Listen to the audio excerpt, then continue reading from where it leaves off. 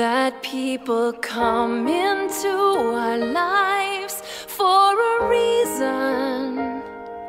bringing something we must learn, and we are led to those who help us most to grow